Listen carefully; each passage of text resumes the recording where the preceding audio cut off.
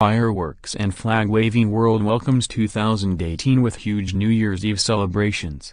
Samoa was the first country to welcome 2018 with celebrations including fireworks, dancing and juggling.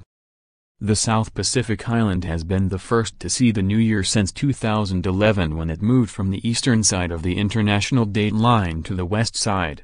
Auckland and New Zealand followed soon.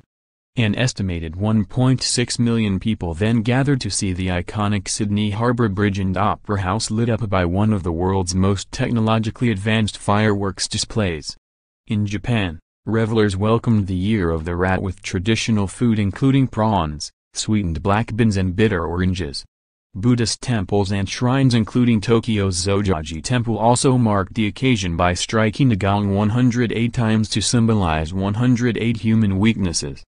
Though they used to share the same time zone, 2018 began half an hour later in Pyongyang with fireworks and flag-waving onlookers. North Korea changed its time zone in 2015 to mark its liberation from the Japanese at the end of the Second World War. A colorful six-minute display at the Taipei 101 skyscraper in Taiwan wowed onlookers despite the number of fireworks being cut by almost half amid air pollution concerns and the city landscape of Hong Kong was lit up with another spectacular show. Bangkok was also illuminated by pyrotechnics after Thailand's prime minister temporarily lifted a ban on fireworks, allowing them to be set off for an hour either side of midnight.